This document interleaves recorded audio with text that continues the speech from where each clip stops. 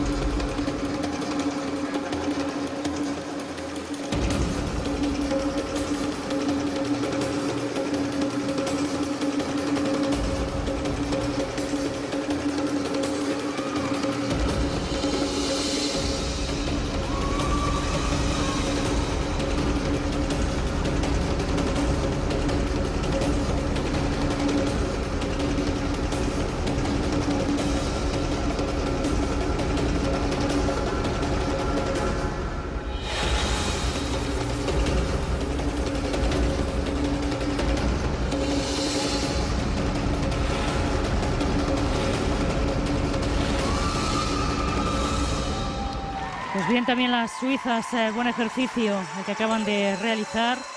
Yo creo que no van a tener problemas para mantener esa sexta posición que se han traído de la preliminar.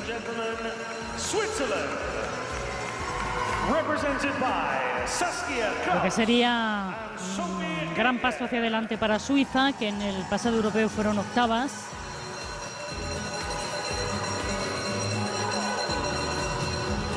Saskia Kraus, la solista, formando el dúo con Sophie Giger.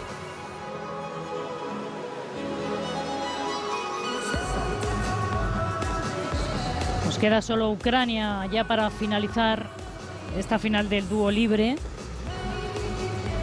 Recordamos que, recordemos que después de esta final, sin interrupción, dará comienzo a continuación la final del dúo libre mixto con presencia de la pareja española, de Pau Rives y Berta Ferreras, que va a, va a hacer también su debut en el dúo Berta. Nuestra fantástica solista junior.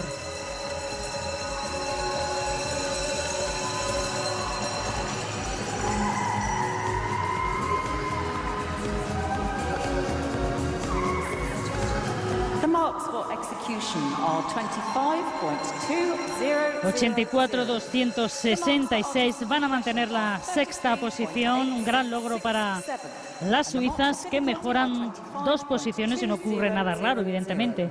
Con Ucrania, que va a salir a continuación, van a terminar sextas, mejorando esa octava posición de hace dos años. Eh, muy bien Suiza,